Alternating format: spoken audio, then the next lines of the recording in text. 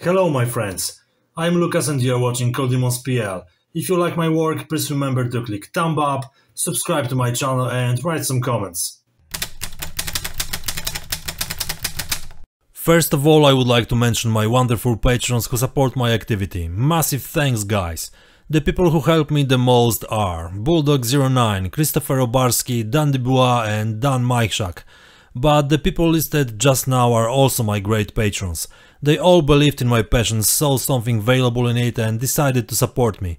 It's really great when you know that there are a few crazy guys in the world who think like you, want to watch what you build and appreciate the effects of your work. This is really super motivating and gives me the strength to continue working. Please don't forget that you can be one of them. That's why in each episode I encourage you to support me in my passion. And I realize it's not easy these days, but if you have a few bucks you could drop in my cup, that would be great. Thanks! This is re-edited and compressed story of my Tiger 1 early from border model I published in the beginning of Coldemons PL channel.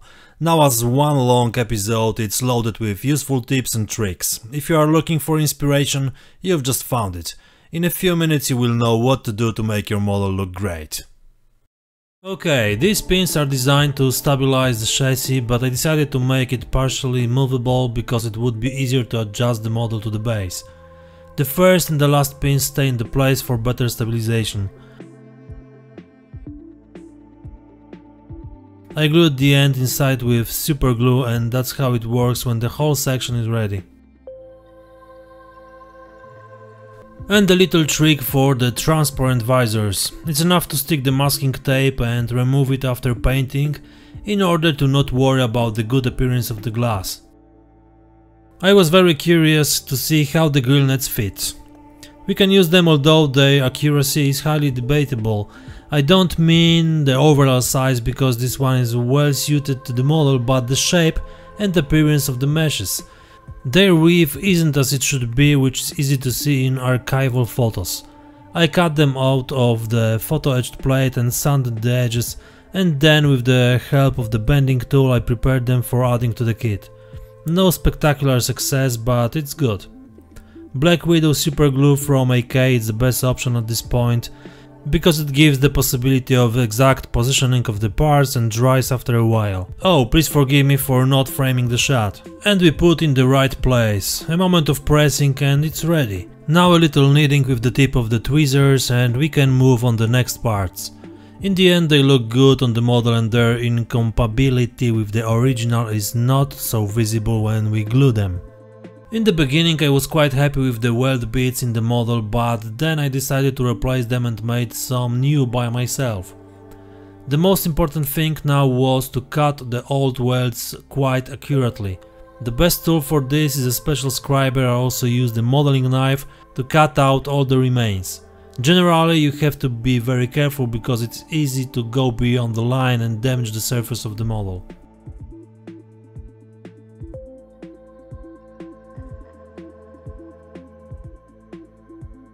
And now quite a big oversight done by the producer. The front plate is clearly too thin and you need to thicken it.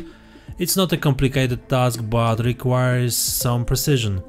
It's enough to stick a strip of plastic of the appropriate thickness and we have a thick plate, but we also have to weld it on. So I made an additional groove for green stuff using the same method as before you have to do it really delicately so as not to unnecessarily damage the elements around. As long as there are no glued details and no weld bits, we can improve the texture of the steel. Of course it's not necessary and if someone says that what is prepared by the manufacturer suits his needs, okay. As for me it's worth spending time doing something nicer. I used AK putty for this and diluted it with water. The old brush was best for applying this mix. While it was drying I tapped the surface a bit and added a bit more putty here and there. After drying and it was quite fast, I sanded all the surfaces and the armor plates were ready. It's important to be moderate in this case because if you add too much putty, the effect will be not convincing and similar to the Soviet armor casting. I rolled out the green putty into thin sausages or snakes uh, mm, it doesn't matter how we can call this thing. To arrange them in the grooves I prepared earlier. I added a little water to prevent the mass from sticking to the tools, and now bit by bit I fill in all the places on the hull where it had to be done.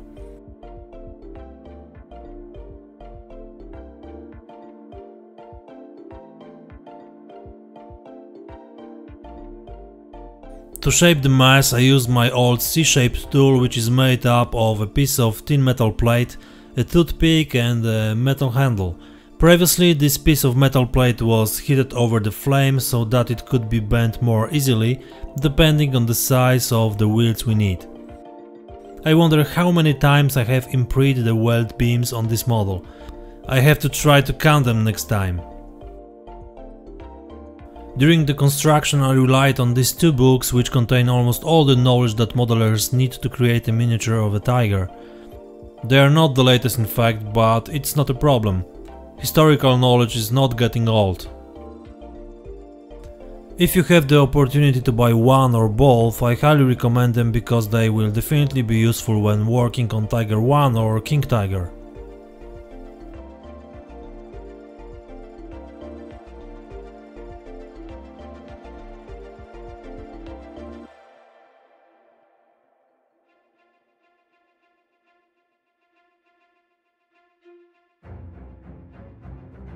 Okay, now it's time to make some detailing on the model. We start with the back wall with all the elements that need to be there. First, the biggest elements, which mean exhaust and air filters from the Feifel system. After basic gluing, some texture has to be applied to the exhaust covers and exhaust pipes. It wasn't complicated because I used the same putty again. Quick drying with the hair dryer and sanding of course. Half of them will be obscured anyway, but leaving them without the texture isn't an option. The exhaust have open flaps because I have a plan to put the model on a stand in a combat position, with the engine running. Originally I wanted to use the upper shields. I took one out to check. After warming it up properly with the torch flame it became much softer and was easy to bend. I was afraid that it might not fit the handles on the model and sadly it was true. The cover itself looks great, but the size differences are too big and my laziness took over so I left the mufflers without covers, which is also correct as I found in the war pictures. All in all, when I make German vehicles I always add photo etch set to build the jack from scratch, but the number of these parts discourages me from working on them. Maybe I will make some separate video for some freaks if they are so eager to see how it looks like. It's just an idea, let me know what do you think about this.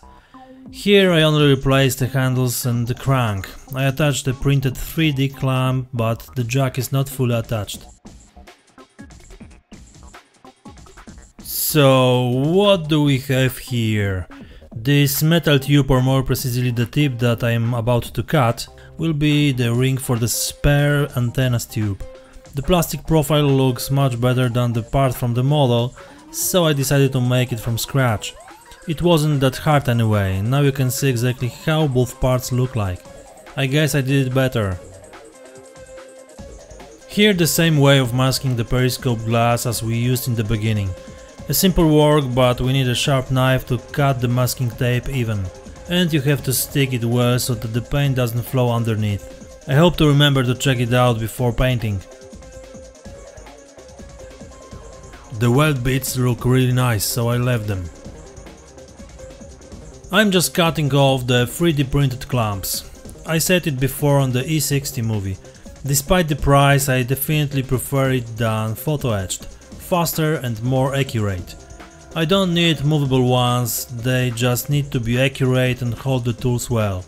But there I only used them on the rear of the vehicle where they were missing. The tools are good enough that there is no point in changing them and doing it just say that there is a super duper clumps everywhere. It's simply pointless for me. Time is money. And right after that I glued all the tools back to their place. Easy.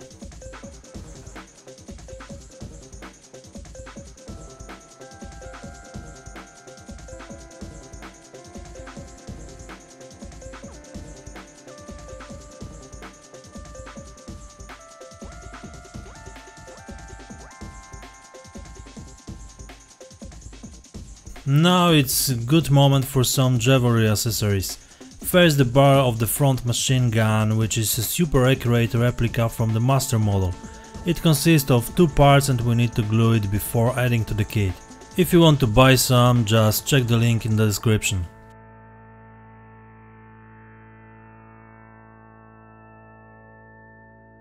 Then I prepared cleaning rods with handles to which towing cables were also attached. I used an Aber kit for this even though I also had 3D prints, but I wanted to use this kit so that it wouldn't be smacking around the box with accessories. The center must be filled and properly formed.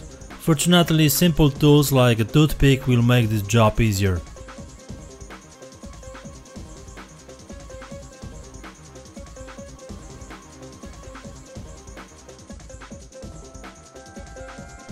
To find the place where all the handles should be glued I used the drawings from the book that I showed earlier and made out the appropriate places. It could be done more easily by measuring the distance, but sometimes the simplest ideas come too late. Nevertheless, the handles had their location and I was able to safely add them to the model. Now I could take care of the towing cables. Those of you who saw my models in previous videos and various articles know that I mainly use Eureka XXL products. For me this is the best solution and I haven't come across a model yet in which these cables are better than their products. Resin ends require gentle cleaning and are practically ready for further use just after this.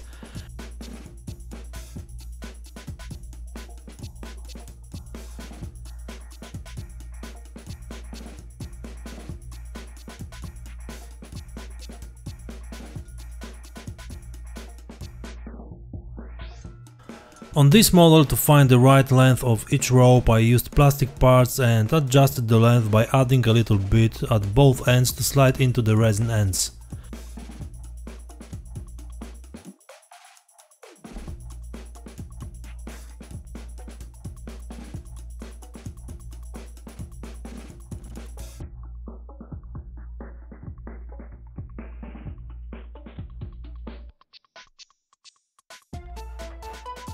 Well now, how to put the tip in a shackle?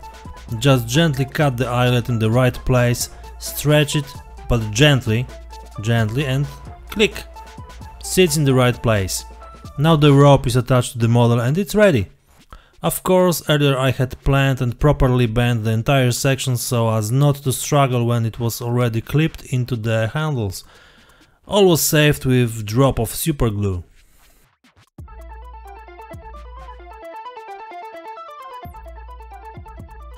And this is how the whole arrangement of the ropes on the model looks like. I did the same with a thin rope to hold the trucks during repair or servicing. Here I went a little crazy and created the final layout with some artistic freedom.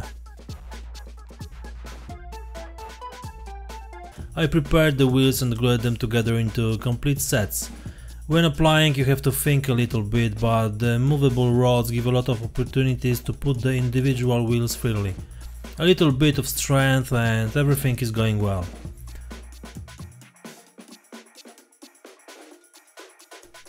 I wouldn't be myself if I didn't add some upgrades. I accidentally hit an ET model set with resin wheels without rubber bands. I risked buying them even though they are not intended for border but for dragon. And there is actually a small difference in size but not so visible that you can give up using this set. I trimmed a little and tweaked the mounting so that all the wheels were in line and ready. Before the final placement I will establish their position in row once again because for now they are being put in place only for checking. The drive and idler wheels fall into place without any major problems. Only a bit of Blu Tack for a hold was needed as there is no rubber inside like on other brands models. And now you can clearly see how all axes work. I hope they will fit nicely to the base. Well, I hope? No, I'm sure that it will be so.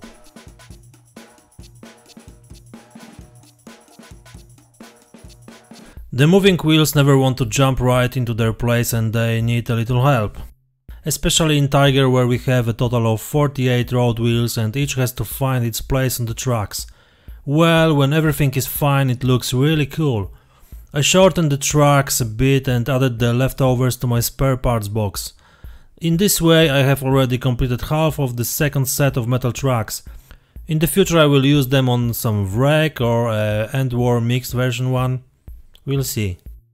Now we can easily install the fenders. They are also from the Javelry category and undoubtedly enrich the model. However I had it, this is the one with exhaust covers and decided to make use of it. I formed the fenders on a bending tool and before the gluing I gently destroyed the straight lines on the edges and then once they were in place I hit them with a sharp skewer to make battle marks. It's important to arrange them in a random manner. To make a strong connection I glued small pieces of the plastic profile on the underside, which will be invisible anyway because I'm going to cover them with mud. There are also small grenade launchers on the Aber's photo etch set. I didn't like the ones that I put on earlier and they had a bad shape because were intended to be used on turret launchers. So first I heated the plate with a torch. Then, gradually making the appropriate shape, I prepared all the launchers for adding to the kit. I could also use metal bases, but I didn't want to tear off the plastic parts anymore, because it would be more work to repair than it was worth.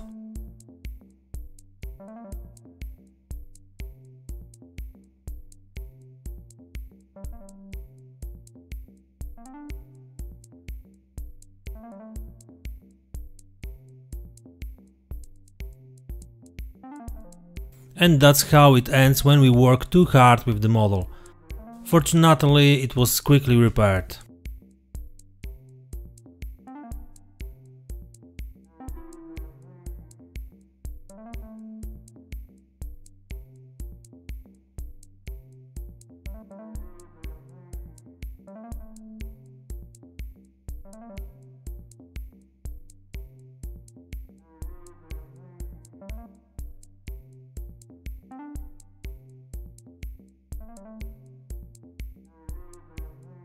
Now the coolest part for me is screwing the metal muzzle brake. Some kind of fetish or what? I never thought something like this would be so fun. The second set with barrels for my Tiger is also from Master Model, but this time it's only one part to be mounted in the turret. Great stuff. Before I put all the elements of the turret together, I first need to make new welding. Exactly the same as before on the hull, but now I will use the fact that it's not glued yet. You have to be careful and calmly take out an excess of plastic. A sharp knife is an essential tool at this point, but I admit that it's easy to cut yourself. I did it. But then you can say that the model was born in blood and pain.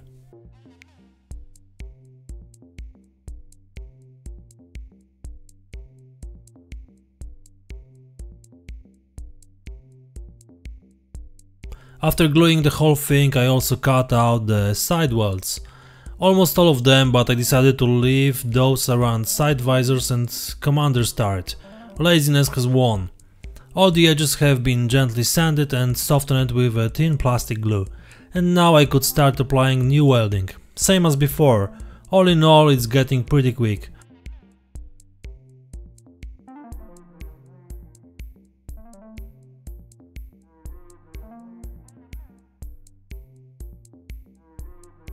The white of the metal barrel made the whole thing swing, so I decided to add the white on the opposite end. Two nuts did the trick. A few drops of superglue and we have stabilization ready.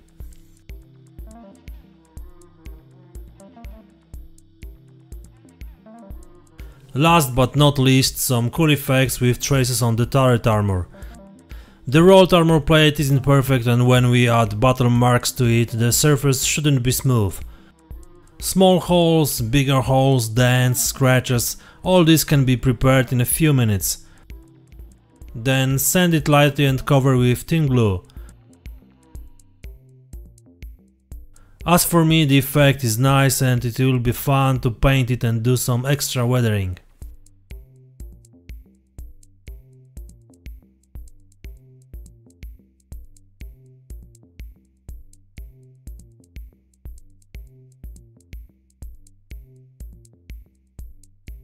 First you have to disassemble the whole thing into basic elements so that's easier to paint them. In total, in this model the most work will be done with the wheels because the rest is glued to the model permanently.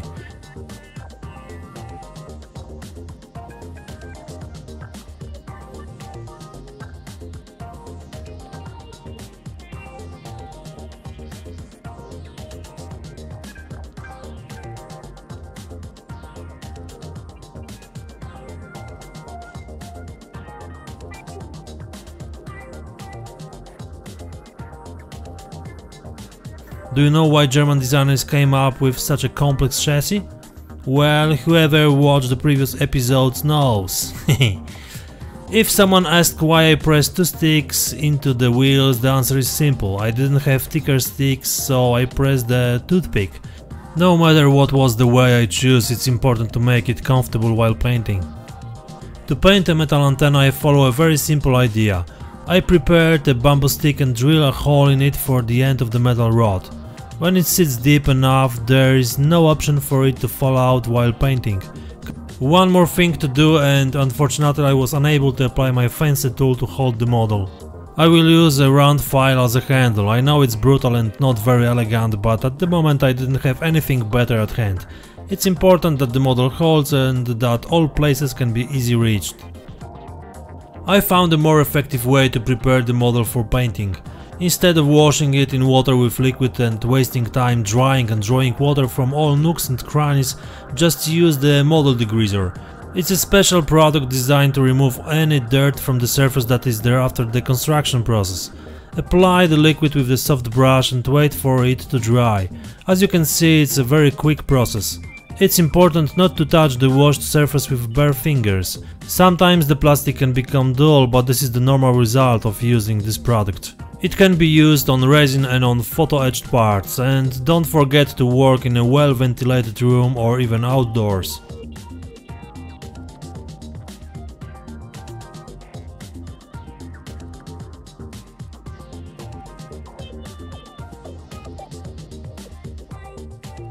And this is my next super duper tool, the second life of an old cardboard box.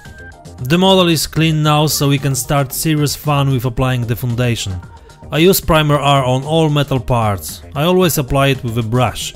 It's worth paying attention to the engine grill covers so that you don't accidentally clog individual mesh eye with the liquid.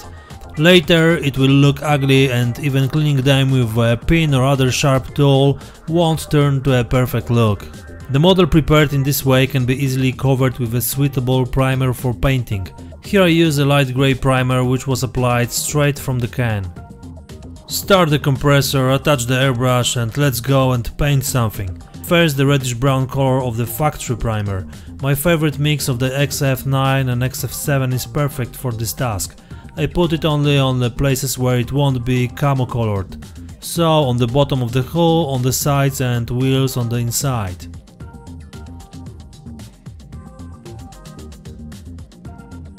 Oh, red color and red button below. Subscribe now and be one of the chosen.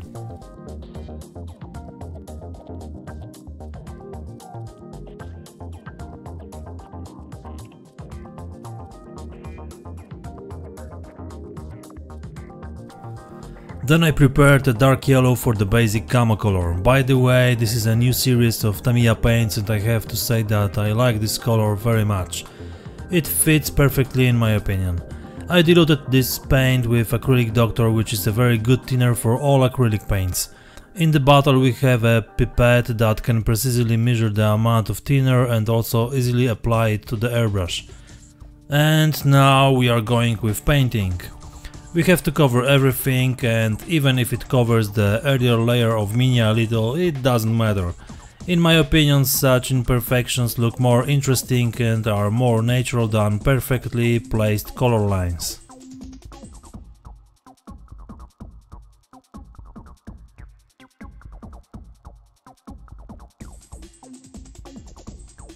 When the whole thing was ready I put the airbrush aside for a moment and started painting the wheels and more specifically the rubber rims.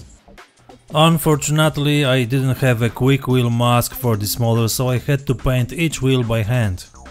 As you know there is a quite huge amount of them because the designers want to make the modeler's life easier.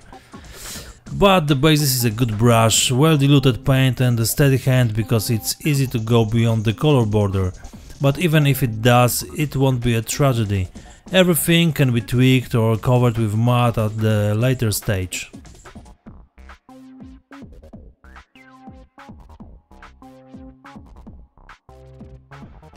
I have already painted all the wheels so I can go back to the camo painting.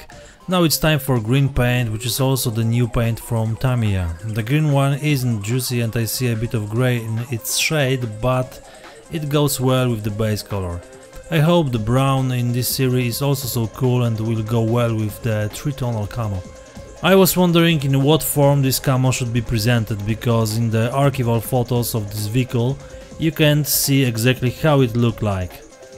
I was based on the available photos of other vehicles, but they are not exactly a clue either.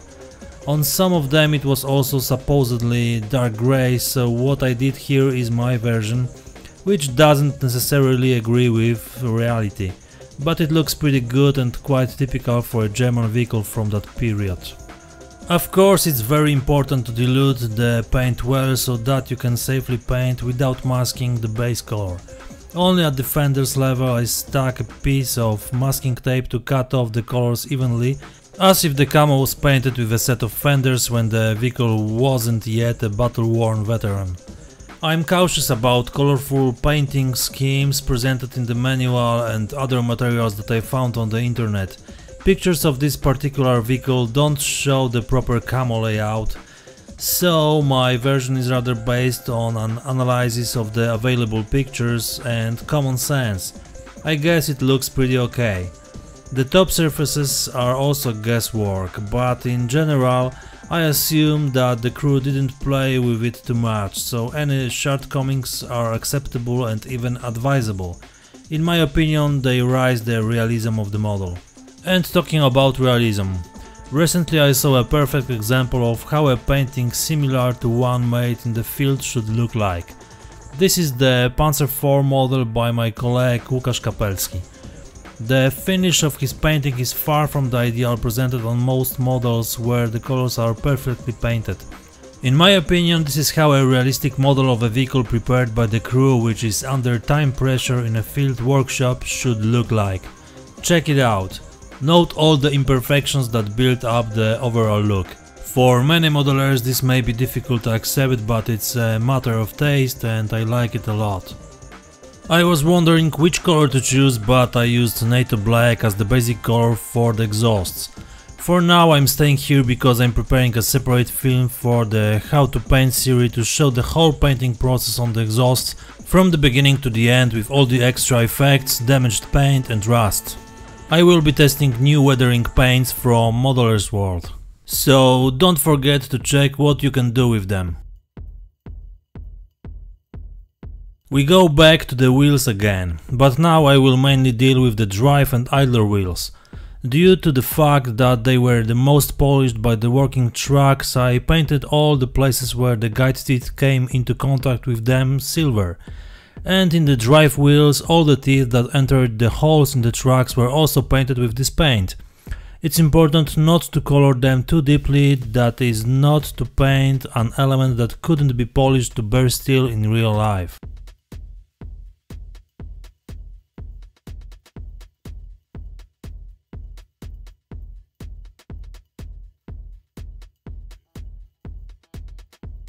In some photos from the war I saw this little element above the sighting devices. It was a roof that was supposed to protect against raindrops and sunlight. I don't know how effective this simple solution was, but I decided that it might look nice on my model. I made it as a welded piece of metal, so there will be some rust and welding marks for sure. Now only dark brown as the base color was painted. The same as the interior of the smoke grenade launchers. I also painted the base color of the machine gun barrels.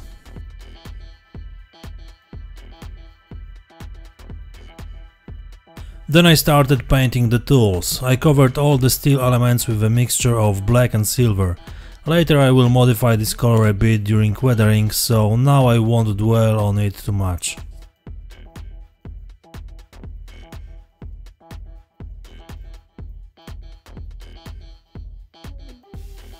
I have bronzed the wooden parts of the cleaning rods. I wanted them to stand out from the remaining wooden handles of tools such as a shovel or a hammer. For me the most important thing is diversity. You can of course play in painting the rings, but somehow I was never convinced of this effect. Maybe at the later stage I will do something with this, but for now they will stay uh, in brown. I hope not to forget. It's very important in the case of tools and other equipment details already glued to the model to be especially careful when painting. You need to get a good brush and pay special attention to painting at the edges, so as not to cover the camo colors. It's better to do it slowly and accurately than to do some extra work and improve the painting done with the airbrush which will be always difficult and inconvenient. You can use a piece of paper to cover specific surfaces. The same methods must be used to paint the towing cables. I follow the rule that in a given position of the model I paint as much as possible from visible and accessible places. Then I rotate the model and do the same but now looking from a different angle. In this way the efficiency and speed of painting increases and we don't have to rotate the model all the time. Try it, satisfaction guaranteed. The standard German grey was used to paint the fire extinguisher. I made such a contrast on purpose, especially since it will have an extra sticker from Archer on it. Such a little trifle makes you happy. I played with the silver paint again and painted the screw heads. Generally thought by experience I don't limit myself to it because I know that later, after the weathering, many of these small points will disappear or be much less visible, and the ones that will stay will contrast nicely with the rest of the model's surface. Well, in this way we got to the end of the main painting. All elements are in the correct color. Now I start applying the markings. The first thing was to spray a few thin layers of glossy varnish from the airbrush. A good base for decals is very important, uh, due to the fact that I hadn't worked with the stickers from this company before, I preferred not to risk it. I trimmed the edges of the crosses with a sharp knife. As it turned out later it wasn't necessary because the decals were very thin. They quickly detached from the transfer paper and I could put them on. And truly speaking it was pleasure to work with this product.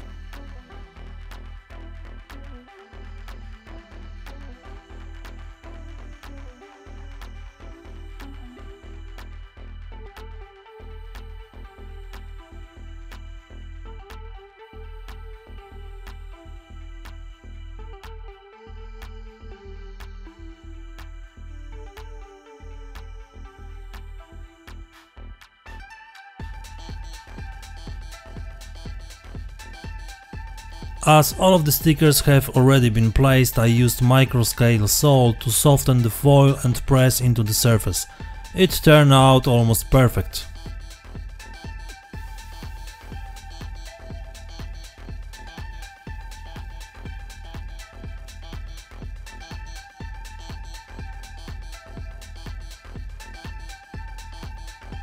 Okay, here you go ready for the next stage. I think the job went quite smoothly and the effect is nice. I hope the weathering will diversify this model even more and it will be another gem in some collection. Previously the model was covered with glossy varnish so the application will go quickly because the paint will flow over the surface as we expect. It's much easier than washing on the matte surface. There is simply more work which at the same time equals more time spent on this stage.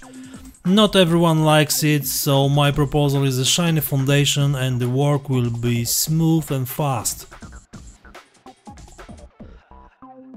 Generally I don't like to work on a model with cotton buds when cleaning the wash, especially on surfaces with a lot of details, but on smooth ones such as the road wheels there isn't a problem. The most important thing is that the wash should be dry but not dry completely and besides the smooth surface makes it easier to clean it. The rule is simple, the more precisely we apply the product, the less work it will be needed to wash off the excess and inaccuracies. Such a life wisdom over the thinner bottle. In some places it's worth applying a second wash layer to enhance the effect. I did it on the weld lines so that all the depressions were clearly visible. Although it may be a bad word and it would be better to say emphasized. I guess so. That will be better. Yep. Yep, yep, yep. When I painted the drive wheels I made a mistake that needs to be fixed. I painted the teeth silver on the outside unnecessarily. As you can see trucks would drop them, so a stupid mistake but luckily it took a couple minutes to fix it. Do you like paint chips and scratches? I like it, but only when it doesn't last all day. Everything within reason and so that the model looks natural. I always wonder when to finish so as not to overdo it. After all the vehicles at the front didn't have a long life and it was rather counted in weeks, of course there were also accidents that their lives lasted much longer, but let's be realistic. I am talking about it because the amount of chips is proportional to the age of the vehicle. It sounds funny but I am explaining what I mean. It's enough to answer the question. How much in the front conditions could the paint coating be damaged if the vehicle was used for 3 weeks? Well, to be honest, we can only assume because none of us was a soldier during World War II and those vehicles that are currently serving and participating in conflicts are not as exploited as those from the Great Conflicts so they can't be references. Am I right? If there is any soldier who can confirm or deny it, let me know in the comments. The second thing is that we are building a model and the exact copying of a real vehicle won't end well for the final appearance of our replica. But maybe more on that another time. So the amount of chips shouldn't be large in my opinion. My rule is that every few moments I move away from the model to look at it from a distance and see if I already have enough scratches or if I can go crazy with the brush even more. Common sense is the key to success. Okay, what is my way for painting the scratches on the model? It's very simple. I use the base paint which is exactly the same sand Tamiya color which I painted the first camo color. Why? After covering the model with glossy varnish its coating darkened. Additionally I made the wash and we have the answer. Now you can see how much the base color has darkened and why I use this paint. The contrast is good enough. I painted all the chips with a sponge and brush. I worked on individual elements so I didn't leave any place and scratches appeared wherever I planned. All light spots were then filled with dark brown base paint. Of course the method was the same and it actually took faster than painting the first chips because I didn't have to wonder where to put them. Some places needed special attention. For example, I treated the elements of the air filter system with special care because in my opinion this place was exposed to quite strong damage due to shot boots of soldiers, the same defenders or the edge of the commander's turret. The wheels were also painted accordingly. I don't always do this but here the flat and large surfaces required a little touch of love. In particular, damaged wheels without rubber bandages where it was inconceivable to leave them without scratches and at the later stage without rust.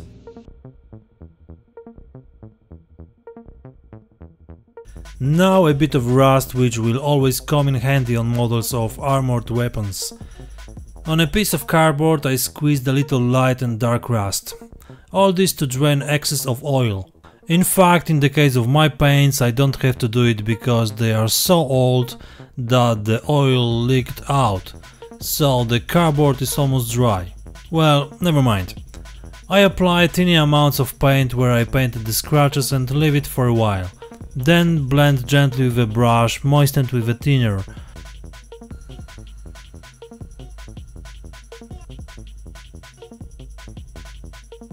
Well, we start another walk around all the elements of the vehicle. Generally it shouldn't take much time compared to the first stage of painting the chips, but you need to prepare a good drink and start your favorite CD to make the work run smoothly. Pure relaxation.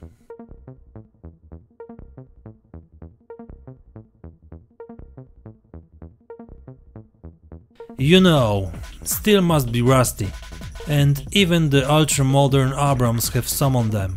I saw it with my own eyes.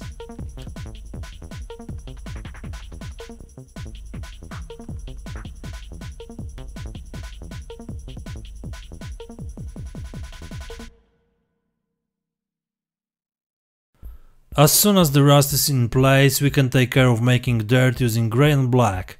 This is a simple task. We apply the paint wherever we want to emphasize this effect, modify the color or simply common sense tells us that there should be some stains, dirt or a fake shadow. I use this method to near hatches in depressions at the edges where the crew could soil the surface. In addition you can also apply this paint in any other way if the effect we get will meet our needs. It's worth a try.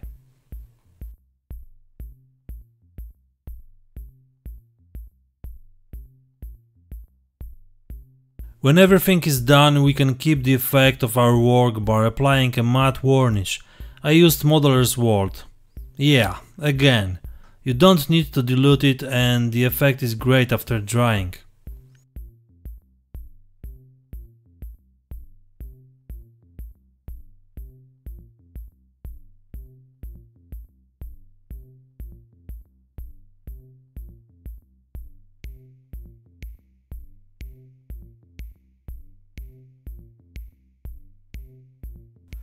Well, it was fast work, so now we can go to the next stages. I applied a few thin layers of sand-colored weathering paint to the entire chassis. Let me tell you that these droppers are a great solution, convenient and you can accurately dose the amount of paint and even pull out of the airbrush if something is left. The producer had a great idea to use them.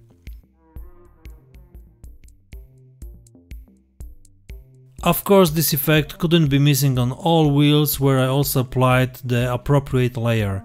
After drying with the dryer you can easily proceed to the next work.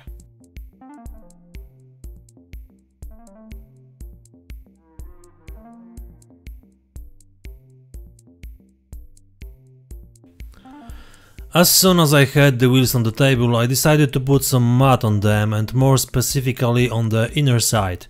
As you can see I generally didn't save the product, the more so that I had in mind all the time that at 99% no one would look under the model to check how dirty the wheels are.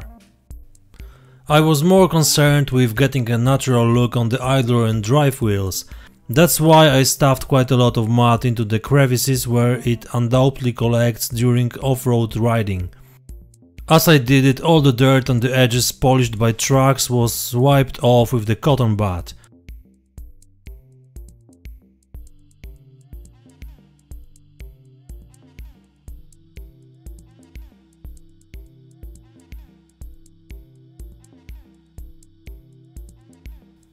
From the outside I also added a bit of mud to finish the wheels clogging.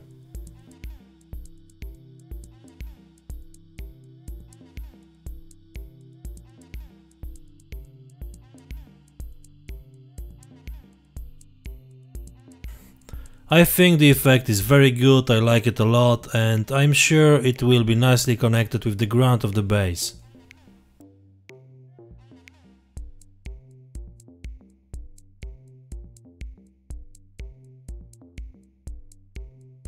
So now we can prepare the lower part by applying pigments and mud on it. First a little glue to stick the pigments.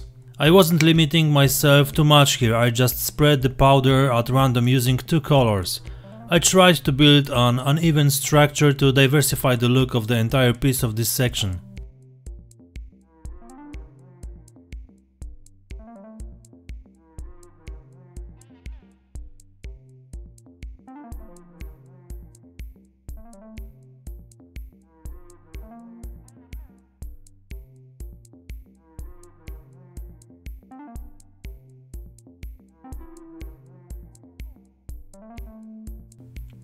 I let it dry and began to apply powder to the underside of the hull.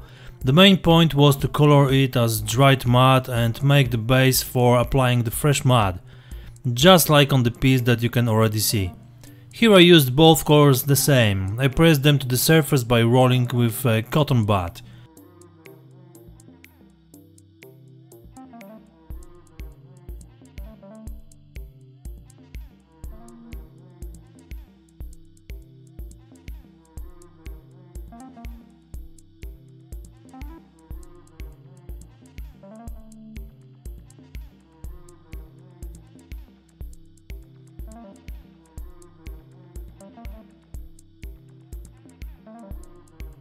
Then I soak them on the entire surface with white spirit.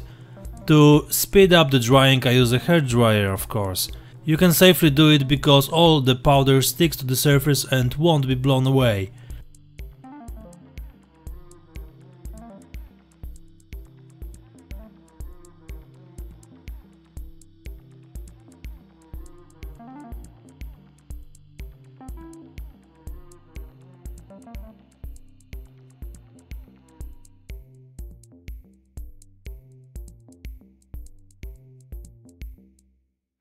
Note that the spare tracks are already attached to the model to immediately unify them while applying the mud, which was started just after drying.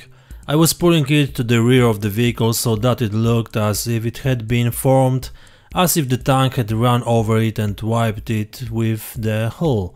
At the same time I also got the suspension elements dirty. Later after putting the wheels on I will improve their appearance.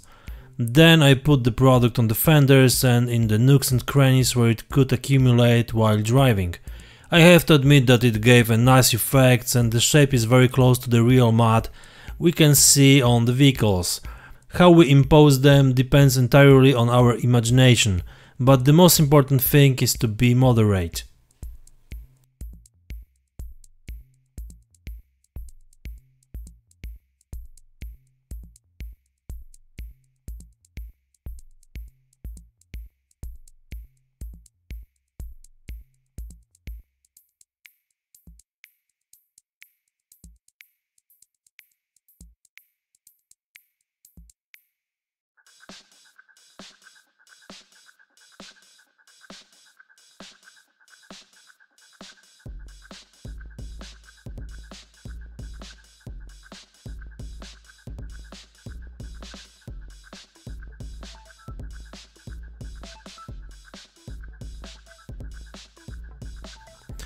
For a moment I focused on the front bottom edge where I decided to apply more as if the tank had burst its nose.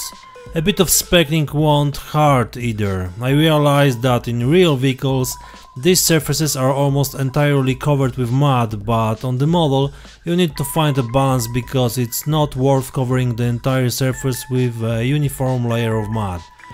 It will look bad. I made this mistake in the past and now I know that what you see here will look much better when finished.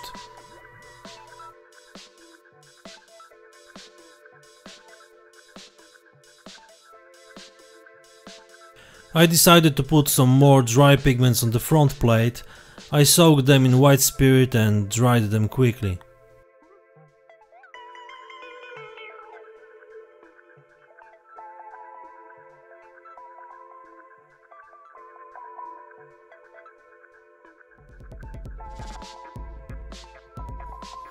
Taking advantage of the fact that I had open boxes with pigments, I started to dirty the road wheels. The principle was exactly the same as on the hull.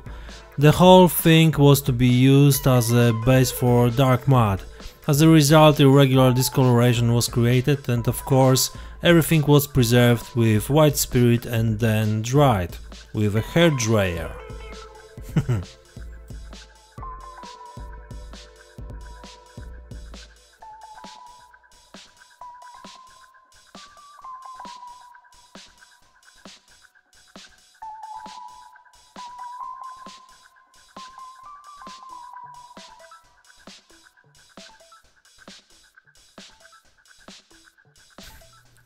I use a few drops of the thinner and pigment to make a mixture and then speckling on the wheels. The splashes are very random and therefore look natural. Of course I did it with both colors, the same as before on the hull.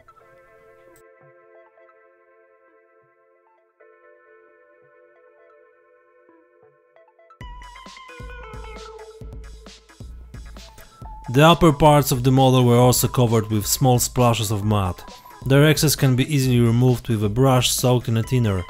Here I use both colors as before.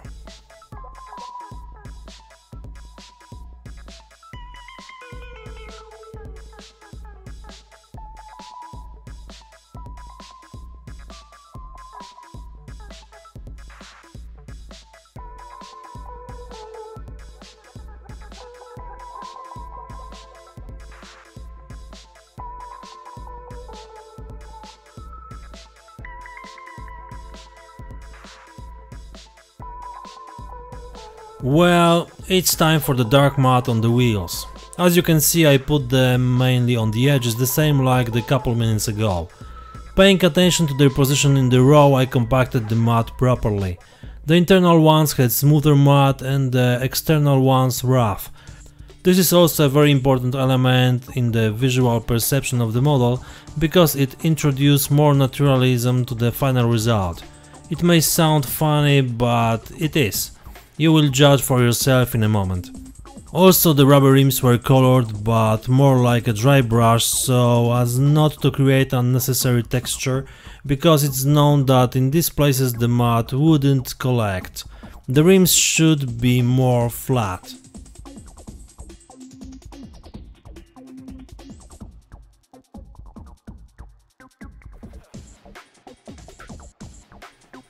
Even more sparkling but now with proper dark mud diluted with the tap water.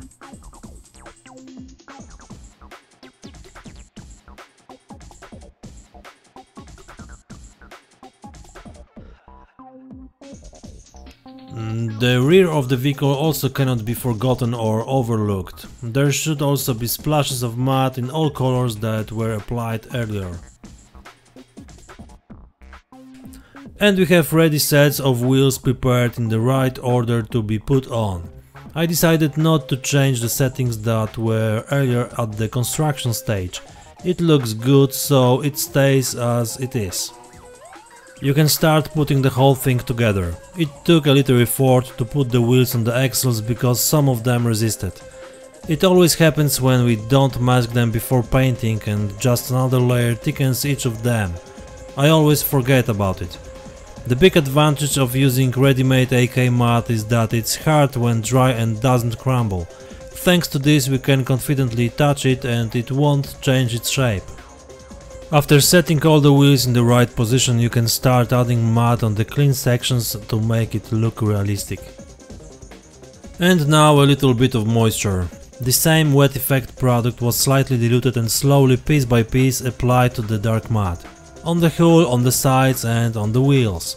Thanks to the thinner it was more satin than glossy after drying but that's exactly what I wanted to achieve. In my opinion this is very realistic. At the same time very easy to get. It's best to do it with an old brush with damaged bristles because it makes the stains irregular.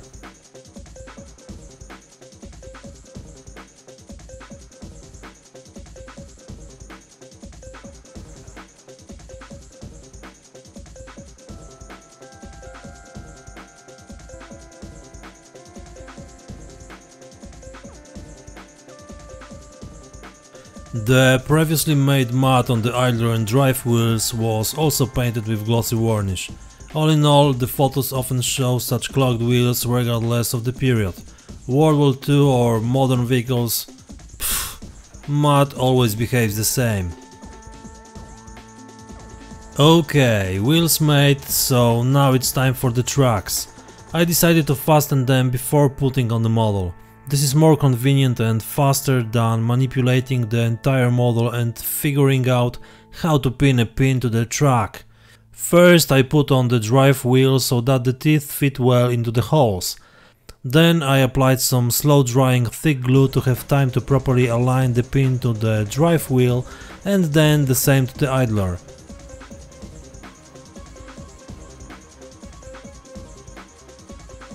And now I could put the tracks on. You have to play with it a bit but it goes quite fast. Then the appropriate tensioning with the idler and the element is ready. But that's not the end of our muddy game. Now we will put the mud on the upper parts of the model. I was inspired by my friend Lester Plaskett and his Sherman. As for me it looks very realistic and it's definitely a brave step when it comes to dirting the model. I realize that not everyone can be a fan of such strong weathering, but I like such mega realistic effects on the models. I used a toothpick to add small amounts of the product and slowly build its structure. It's supposed to simulate the ground which fell on the vehicle during the fight after explosions around the tank, as well as while the crew members were moving on it and while driving on difficult terrain.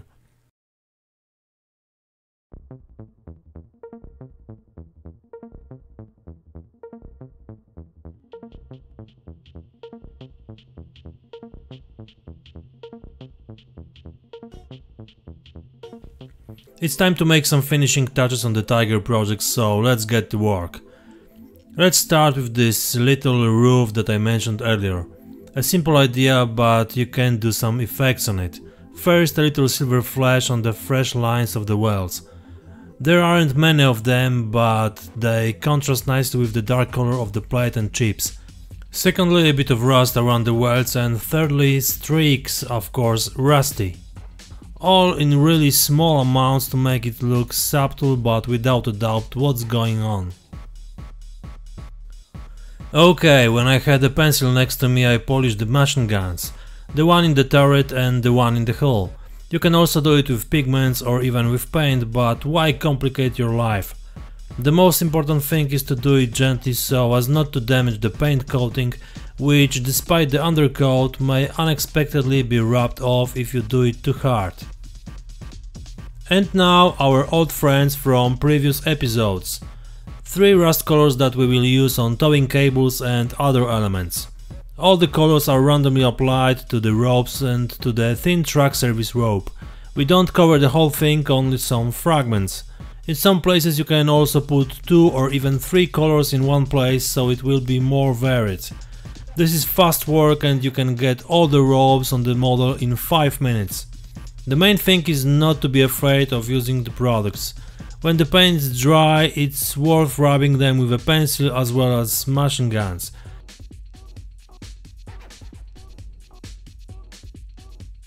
A little trick. Try to draw a weave lengthwise as it will be more effective than crosswise. Look how I do it.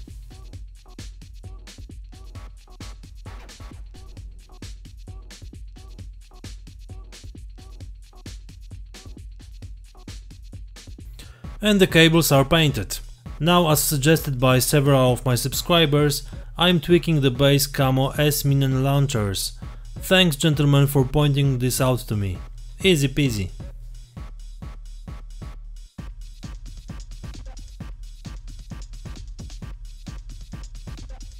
Back to the rust. A bit of shade on the shower will do well for its final look. Of course with the use of my favorite tool which is a hair dryer.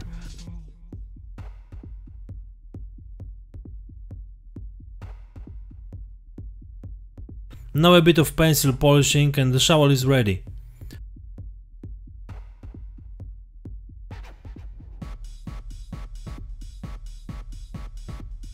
To apply the polisher I also use a silicone rubber which also works well in such tasks.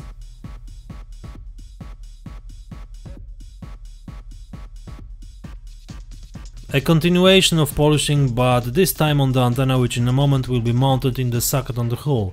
In my opinion such a metal one looks much better than a plastic rod. Its shape is better made, which cannot be said about plastic. Now the figure. I know some of you would love to see me painting figures, but I'm not a master in this matter. I plan to do it in a while to show how I paint camo on Waffen SS uniforms, but for now have a look at how I upgrade the Evolution Miniatures one. As you can see I used Archer stickers which are perfect for detailing. If you don't know these products, check the link in the description. Of course I treated all the stickers with decal softener from Microscale. In general I was wondering how and whether to use this figure at all, but I decided that it would be fun to liven up the scene with the tank. I had doubts because nowhere did I find a photo from the action where you can see the crew in such a position in a Tiger. However, despite this, I decided that it looks great and even if it isn't true to reality, it will look like that on my model. If anyone can confirm or deny it, please comment and explain how it functioned in these tanks. The second issue is the size of the shell. Originally this figure ejects the shell from the 75mm Panther gun. However, when I compared the size to the Eureka XXL product I was about to use, it surprised me that they were almost identical. Who mismeasure or overscale the miniature? I bet that the figure is a bit too big, but it isn't a problem because everything fit perfectly and you can't see such big differences. In 35 scale the difference between the 75 and 88 mm is small. In this particular case I don't care about it because more important was to prepare interesting look than 1 mm of difference. Okay, the end of this topic. The pigmentation was obviously done with the same pigments I used previously. I dirtied the model with parts to keep it in order and not to forget about any element. I applied pigments alternately around the turret ring into nooks and crannies in random locations on horizontal surfaces. Of course they were merged with the surface with fixer, in this case it was white spirit because it dries quickly and leaves no traces. Obviously a hair dryer was necessary. You already know this favorite tool of mine. Maybe I will call it accelerator or something like this. What do you think? Please let me know in the comments.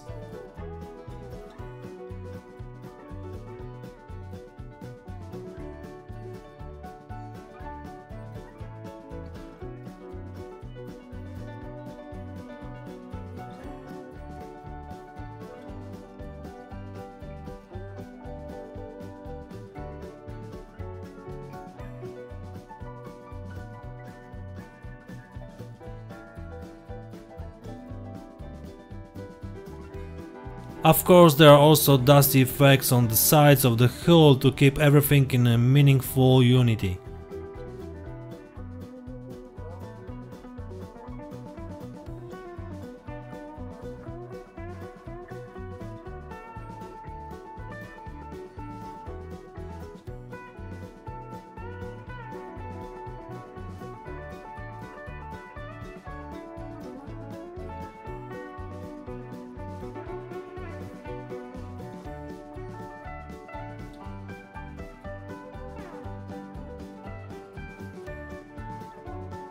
I decided that there would be some lumps of mud on the engine plate accidentally thrown as if the tank had been showered after an explosion nearby. I think it's obvious that it's completely natural on the battlefield. I scrapped off dried pieces of ready-made mud from the lid and crushed them, even cut them and then sprinkled like a salt on the model.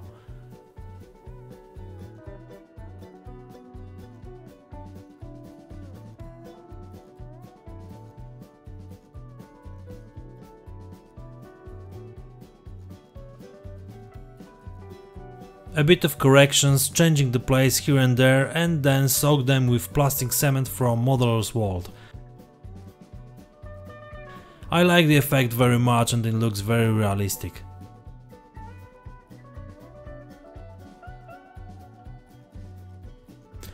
I took the pigments again to put on the model but now I focused on dirting the turret.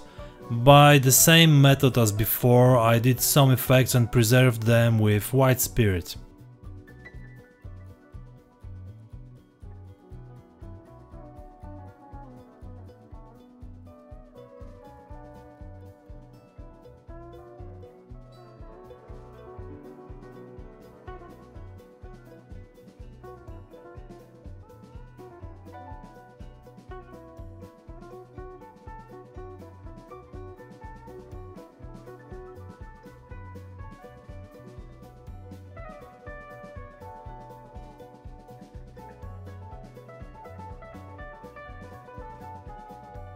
And now a general look at the model from a distance. As you can see the camo colors have become much muffled and it now looks very natural, just like on vehicles serving in the field. In contrast for example I didn't specifically cover the hatches, which made them more visible. An old trick but very effective. Time for superb effects in the form of stains from different liquids and water. First grease stains of oil around the turret's ring. There is no need to limit yourself as they will be mostly covered anyway, but it's worth that some irregular spots extend beyond the outline of the turret.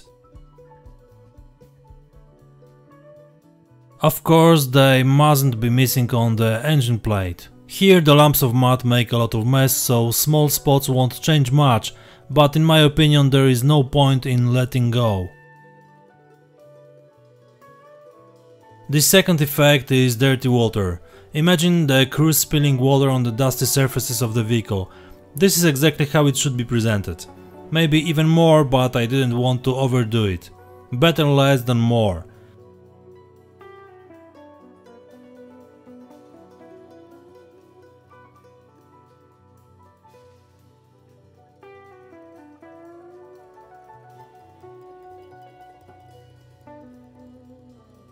You can of course add small drops by speckling, it all depends on our needs and imagination.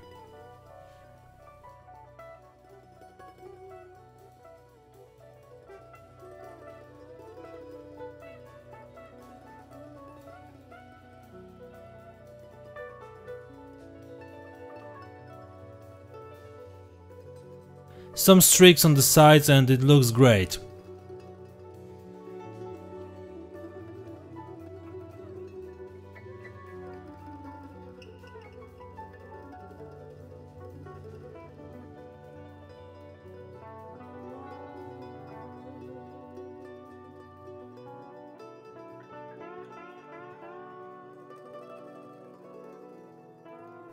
Now some oil paints to make heavy oil leaks on the wheels. I diluted both colors and applied to make appropriate stains. Nothing difficult although they look best on less muddy wheels.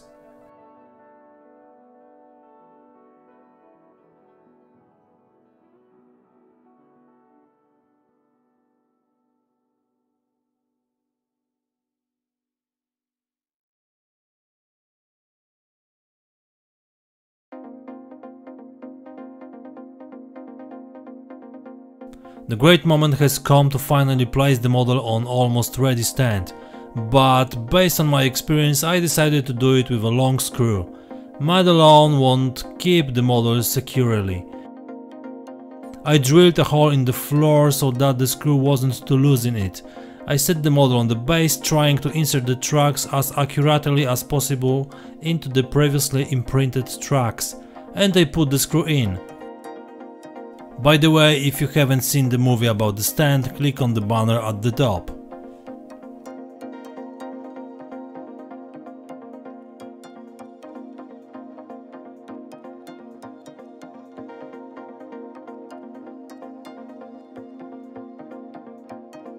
The model is holding up perfectly, but there was a moment of uncertainty.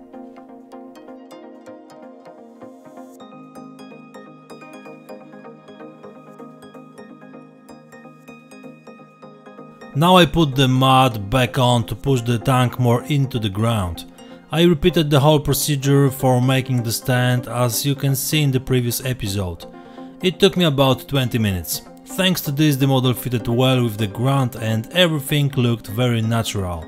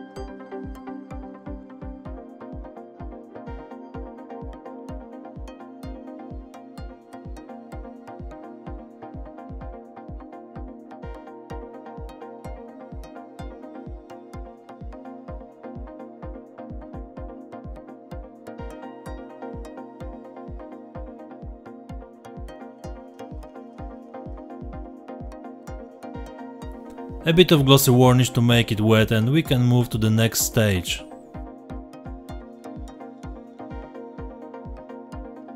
In the meantime I fitted the figure into the hatch and glued the hatch cover permanently. Helmut looks great. Congratulations Evolution Miniatures, the figure is really nice. It gives the whole scene so much life that nothing else is needed. I started matching the Eureka XXL shells to the base. As you can see the story is told in a simple way. The tiger stands on a fire position and conducts rapid fire at the advancing enemy. The loader ejects the shells from the tank and we can only guess how many hits the crew has already scored. Each shell was placed on a wooden stick and first cleaned with a model degreaser and then covered with a metal primer. When they dry up I applied acrylic brass color into two layers and glued each to its place.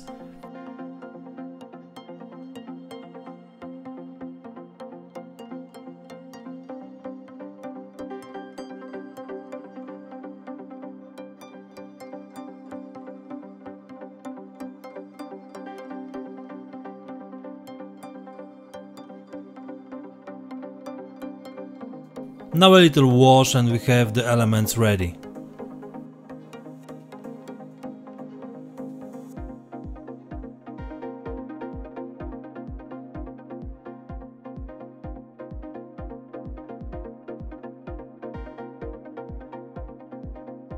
When I opened the bag with chains I laughed to myself because I realized that almost every model has even a small piece on it.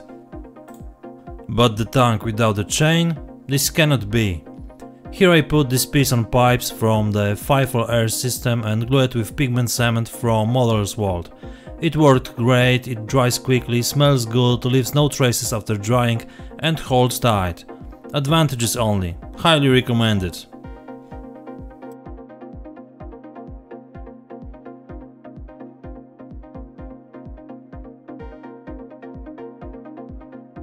The heated wire from the set of rear model trucks was easier to bend. After correct shaping I glued it to the bucket and painted.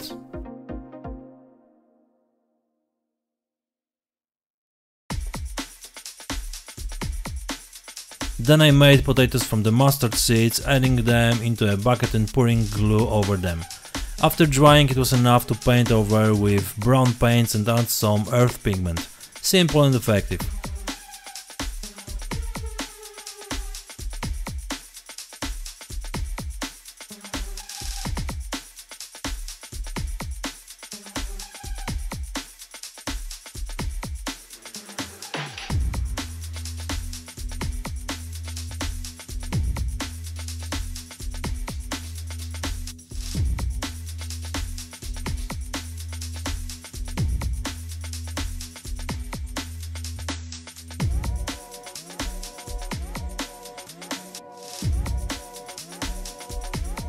I also prepared the seeds in a sweeter version, apples left by the commander.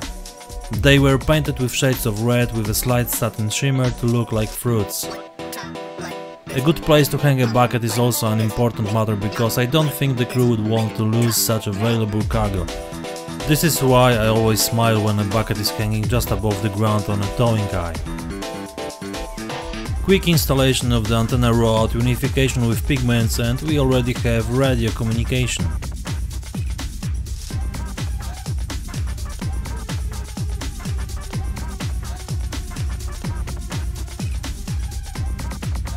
A bit of mud on the bottom of the bucket which is heavily treated with pigments anyway, but you still have to merge it to make sense and look realistic.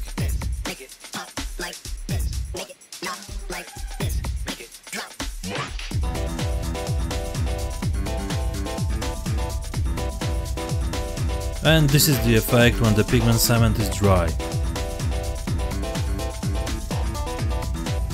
I know, now thunders will come down on me for this salt.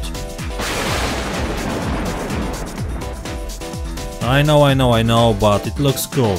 A little won't hurt and so I did it. That's all.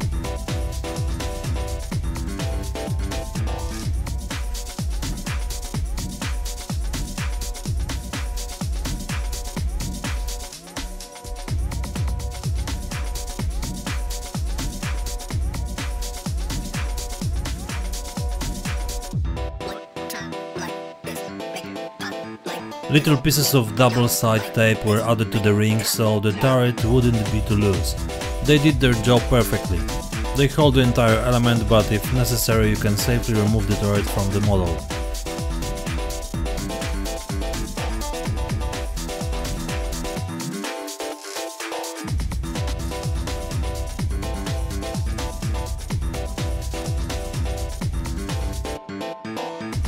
Now some little rag to throw on the vehicle, a piece of tissue soaked in glue. Just place it on the model and let it dry. Then a bit of wash and we have a ready-made rag forgotten by the crew and lying quietly somewhere between the elements of the equipment.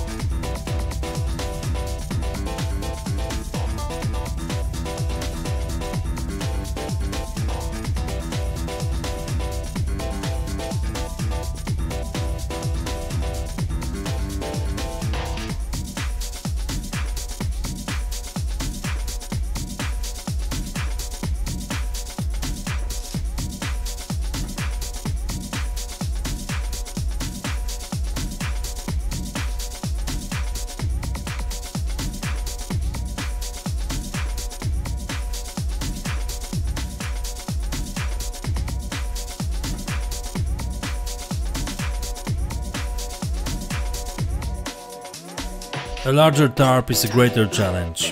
As I have previously colored pieces of tissues, now it was enough to just soak it in glue and place it properly on the model. A few drops is enough. Drain off the excess and put it on the model. It seems simple because it is. Of course a bit of weathering afterwards is necessary.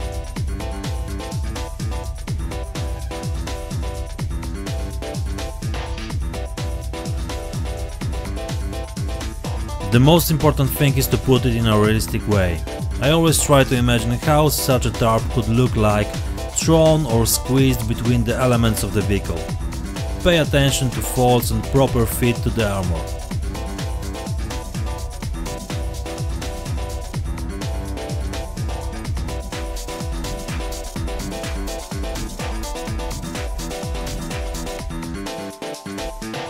Now you can see how fast I make the weathering, which is made mostly with the pigments. Yeah, I know the movie is sped up, but it doesn't take much time anyway.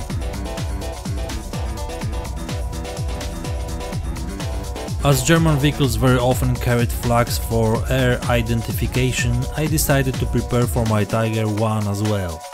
As you can see I use a piece of tissue again, which is painted with acrylic paints.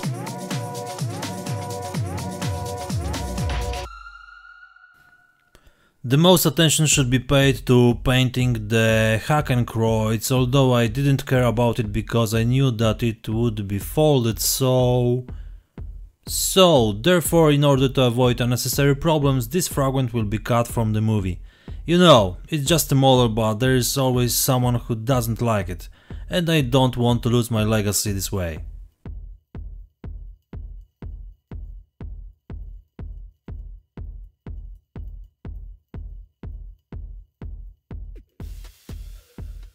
So the flag is painted and after drying the paint I soaked it gently with glue and placed it on the model.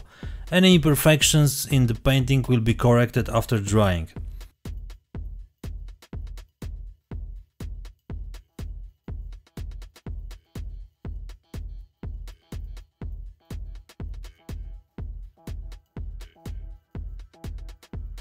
To speed up the drying I used my accelerator. I added a flexible string to do a flag binding. Thanks to this it looks protected against gusts of wind.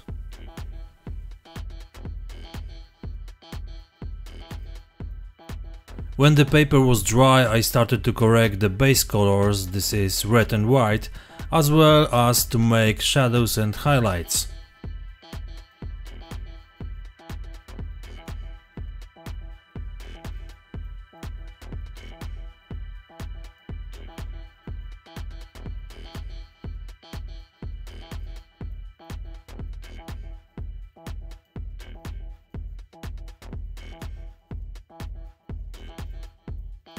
Finally I decided to add some extra extras in the form of hand grenades from Eureka XXL. The metal parts are great and they do the job when painted. A handy kit for defense against enemy infantry. I was wondering whether to add some PPSh or MP40 but I gave it up. A little bit of dirt at the end with the pigments and it's ready.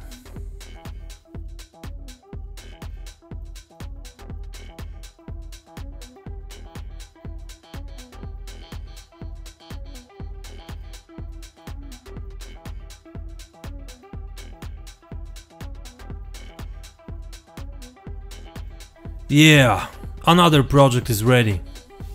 It took a while to prepare it, but I hope that the films from the How to Paint series have been useful to some and have helped in building and painting of the models.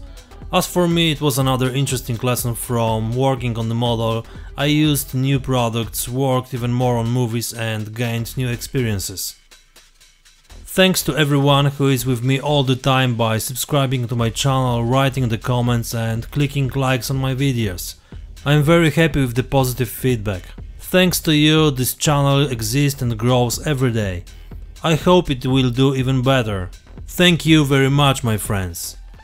For now please take a look at the effect of my work, subscribe to the channel, comment and like. Visit my Instagram and blog. Thanks for watching, that's all for today. Take care, build models and see you next time. Cheers!